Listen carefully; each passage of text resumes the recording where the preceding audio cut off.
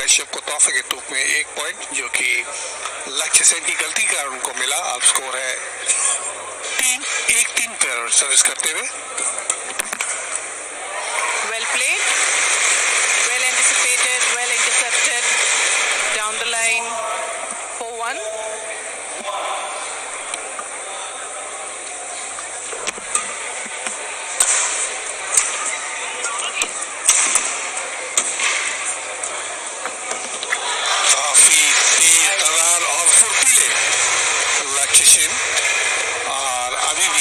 एक चार अंकों की बढ़त उनके पास। ये पहला मैच है। मैच नंबर तेरह, मैच सिंगल से FL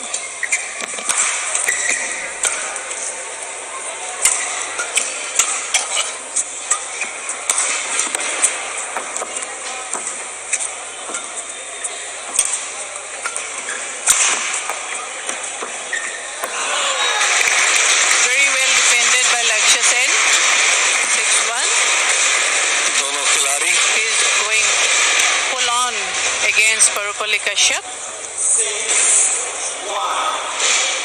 6 1. Leading by 5 points, taking a lead from the beginning. And the net to the nice flick service of Lakshya Sen. 7 1. I think the third seed has to really up his game to match the young lad.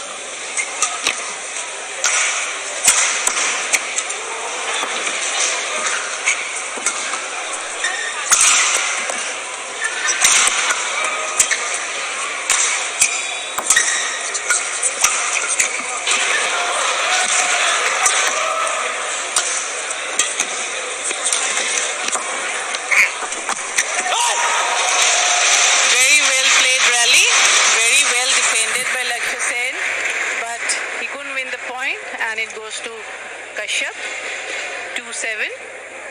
तो काफ़ी कड़ा मुकाबला। दोनों ही खिलाड़ी, दो भूतपूर्व खिलाड़ियों के शिष्य हैं। पुलेला गोपीचंद के छात्र हैं परुपल्ली कश्यप। दूसरी तरफ़, लक्ष्य सेन को तीन लोगों ने कोच किया है, बिमल कुमार, प्रकाश पादुकोण और डी के सेन। ये तीन खिलाड़ियों ने इनको कोच किया है। और काफ़ी अनुभव है दोनों को राष्ट्रीय अंतर्राष्ट्रीय प्रतियोगिता में भाग लेने का। जहाँ तक लक्ष्य सेन का सवाल है, उन्होंने 2016 में ब्रिलियंट ईयर उनके लिए रहा जूनियर बैडमिंटन सर्किट के अंदर 2017 में BW of world junior ranking number one और 2016 में senior international level one man singles titles और 2018 में Asian junior championship defeating top seeded world number one Kulwan विजयन 2018